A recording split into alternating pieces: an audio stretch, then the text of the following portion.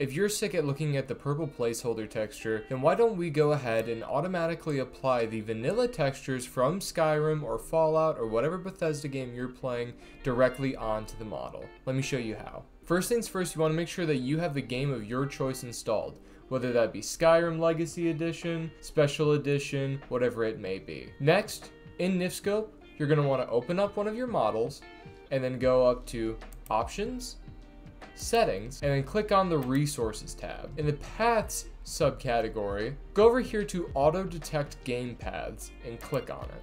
You should see the path for your Skyrim or Fallout 4 or general game folder show up. Next, go over to the archives section and do the same thing.